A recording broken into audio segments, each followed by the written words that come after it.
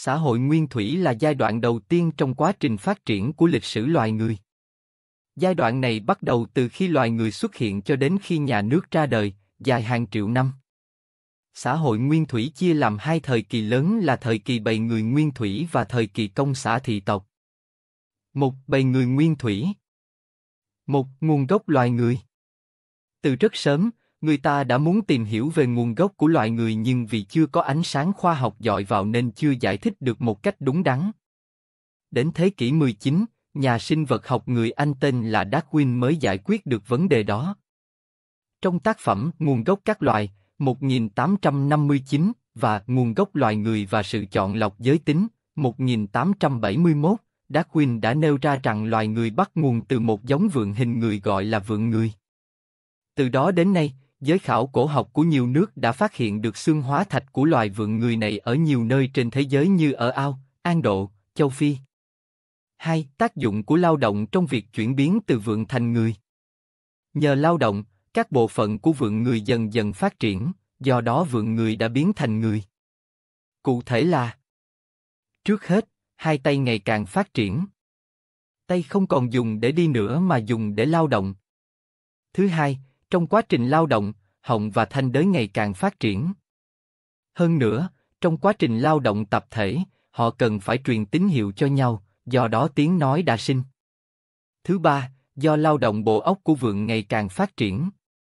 3. Quá trình tiến triển của loài người Sau khi thoát khỏi giới động vật, trong quá trình tiến triển, loài người đã trải qua các chặng đường sau đây.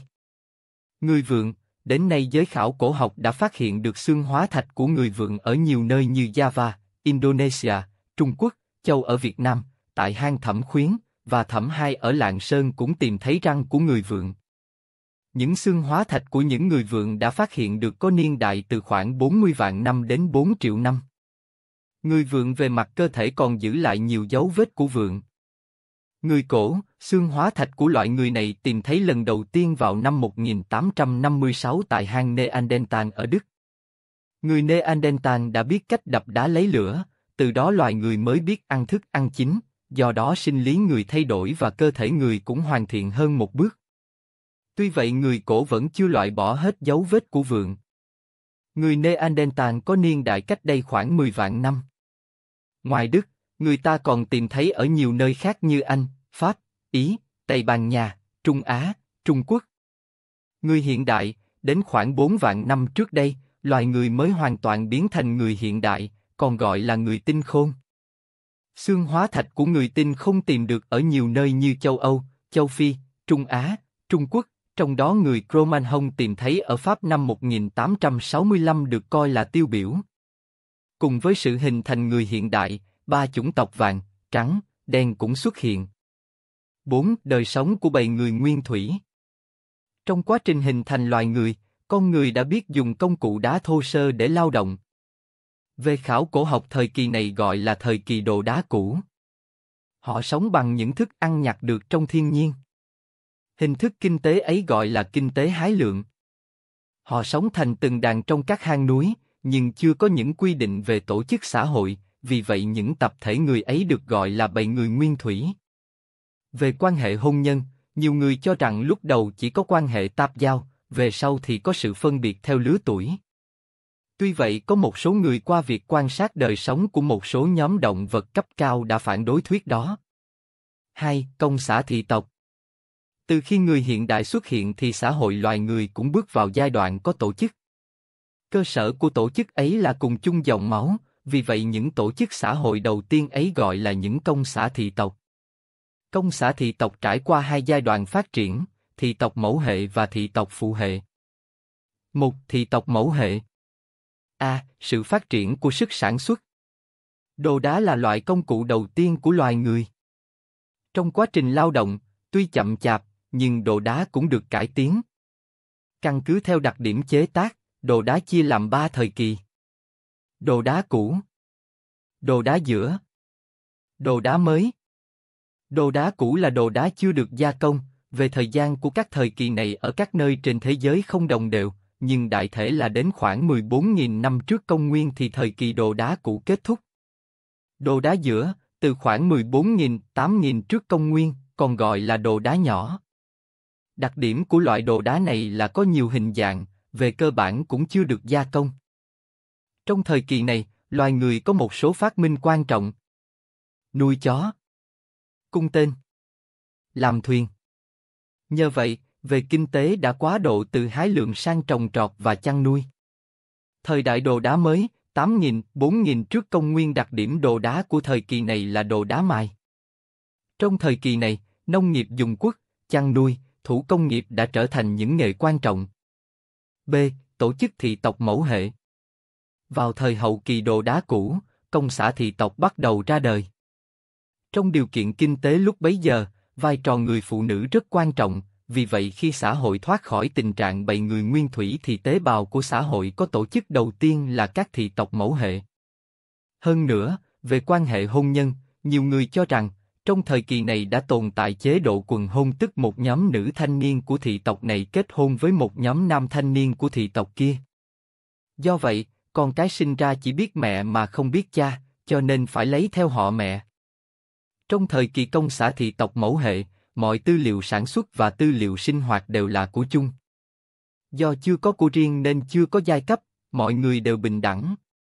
Tuy người đứng đầu thị tộc là một phụ nữ, nhưng nam nữ đều bình đẳng và đều được tham dự đại hội toàn thị tộc. Dần dần do số người trong thị tộc tăng lên, thị tộc được chia thành hai ba thị tộc mới.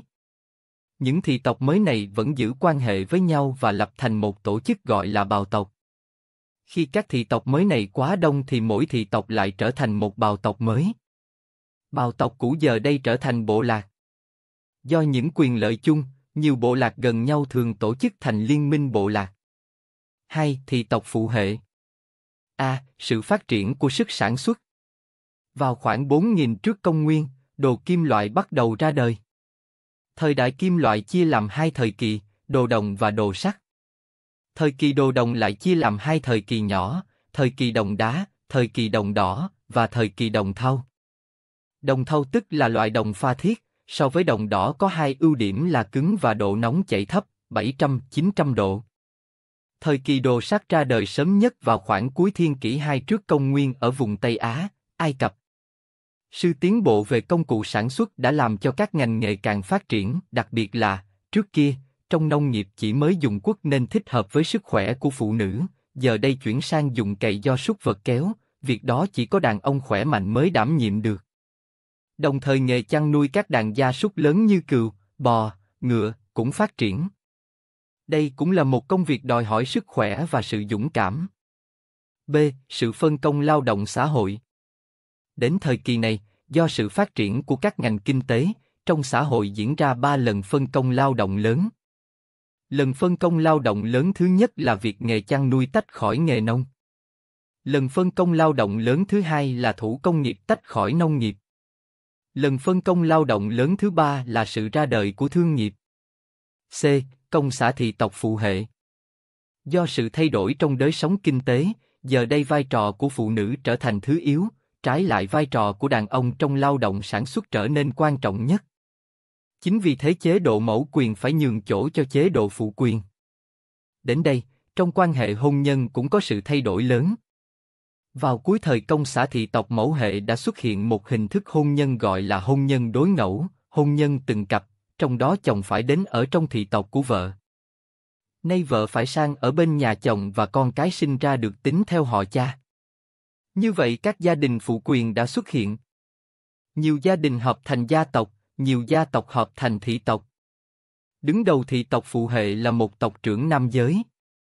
Trong thị tộc phụ hệ, mọi sinh hoạt dân chủ vẫn được duy trì, nhưng trong các cuộc họp ấy chỉ có đàn ông được tham gia mà thôi. Thời kỳ thị tộc phụ hệ là thời kỳ tan rã của công xã Nguyên Thủy. Trong thời kỳ này đã xuất hiện một số hiện tượng mới sau đây. Chế độ của riêng, do nông nghiệp và chăn nuôi phát triển, người ta có khả năng sản xuất được nhiều tư liệu hơn so với số tư liệu cần thiết cho đời sống của họ. Vì vậy trong xã hội đã có một số của cải dư thừa. Ngoài ra, các chiến lợi phẩm thu được trong các cuộc chiến tranh giữa các bộ lạc càng làm tăng thêm số của cải dư thừa ấy. Những của cải dư thừa thường thuộc những người đứng đầu các gia tộc, thị tộc và bộ lạc. Nô lệ ra đời, trước đây, tù binh bắt được trong các cuộc chiến tranh hoặc bị giết chết hoặc biến thành thành viên của thị tộc. Giờ đây, do sức lao động của con người có khả năng sản xuất được nhiều hơn so với số tư liệu cần thiết cho đời sống của họ, vì vậy người ta đã biến tù binh thành nô lệ để làm việc cho những người đứng đầu thị tộc bộ lạc. Như vậy, trong xã hội đã xuất hiện kẻ giàu người nghèo và đồng thời có sự phân biệt giữa người tự do và nô lệ. Công xã nông thôn xuất hiện, do sự ra đời của các gia đình cá thể, do sự phát triển của hiện tượng phân hóa giàu nghèo, do sự di cư của những gia đình nghèo khổ, công xã thị tộc được ràng buộc bằng quan hệ máu mủ tan rã. Những gia đình cùng ở trên một khu vực đất đai do nhu cầu phải hợp tác với nhau để chinh phục thiên nhiên đã lập thành những công xã nông thôn. Công xã nông thôn khác công xã thị tộc ở hai điểm chủ yếu. Cơ sở của công xã nông thôn là khu vực đất đai chứ không phải là dòng máu. Có hai hình thức sở hữu tài sản là sở hữu chung và sở hữu riêng, trong đó đất đai là của chung. Ruộng đất canh tác do công xã định kỳ phân chia cho các gia đình nông dân cày cấy. Ngoài đất đai gồm ruộng đất canh tác, bãi cỏ, rừng núi ao hồ ra, những tài sản còn lại như vườn tược nhà cửa, thu hoạch trên các phần đất được chia đều thuộc quyền sở hữu riêng của nông dân công xã. Như vậy, công xã nông thôn là công xã cuối cùng của xã hội nguyên thủy, là thời kỳ quá đo từ chế độ công hữu sang chế độ tư hữu, đồng thời là hình thức quá độ từ xã hội nguyên thủy sang xã hội có giai cấp. Chế độ dân chủ quân sự xuất hiện, đến giai đoạn cuối của xã hội thị tộc, các cuộc chiến tranh giữa các bộ lạc thường xảy ra. Để chỉ huy các cuộc chiến tranh ấy, các bộ lạc thường cử một người làm thủ lĩnh quân sự.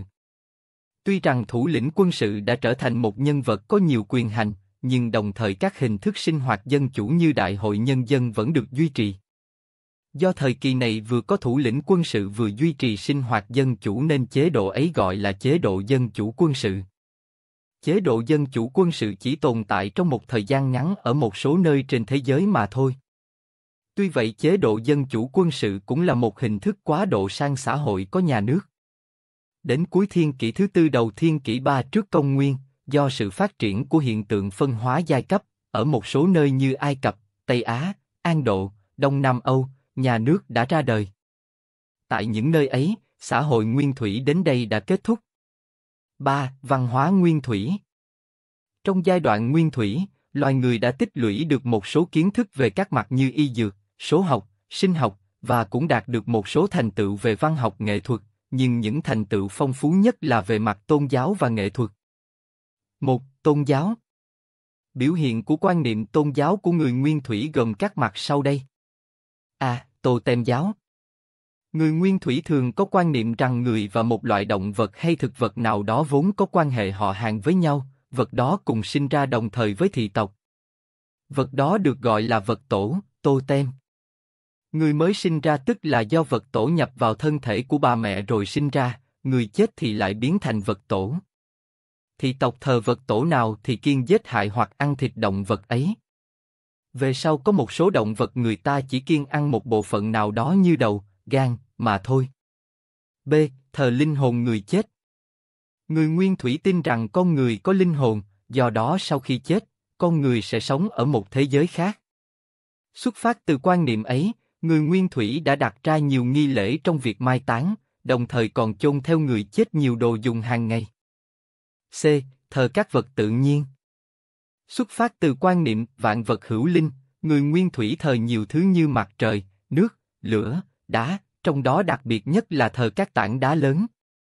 Ngày nay ở nhiều nơi vẫn còn những tảng đá xếp thành vòng tròn hoặc xếp thành hàng dài. Ví dụ ở Pháp có một bãi đá gồm 2.813 tảng đá lớn xếp thành 13 hàng dài, trong đó tảng đá lớn nhất cao 20m, nặng 300 tấn. Ngoài ra còn có những bàn đá hoặc nhà nhỏ làm bằng đá. Đến cuối thời Nguyên Thủy, nội dung và hình thức của tôn giáo càng phức tạp, quỷ thần càng nhiều, do đó tầng lớp thầy cúng đã ra đời. 2. Nghệ thuật Nghệ thuật thời Nguyên Thủy được bảo tồn đến ngày nay gồm những tác phẩm thuộc hai lĩnh vực hội họa và điêu khắc. Trên vách các hang đá ở nhiều nơi nay còn giữ lại nhiều bức tranh khá sinh động về các con vật, cảnh săn bắn, cảnh chiến tranh. Về điêu khắc, đề tài chủ yếu là các động vật và phụ nữ. Đặc điểm của xã hội công xã nguyên thủy Quan hệ sản xuất dựa trên cơ sở chế độ công hữu về tư liệu sản xuất, do đó sản phẩm làm ra cũng là của chung. Bởi vậy thời kỳ này chưa có giai cấp, chưa có hiện tượng áp bức bóc lột, chưa có nhà nước. Lực lượng sản xuất của thời kỳ này còn rất thấp kém, đời sống của con người hết sức gian khổ, xã hội phát triển rất chậm chạp. Nguồn tài liệu, Nguyễn Gia Phu, Giáo trình lịch sử thế giới cổ đại,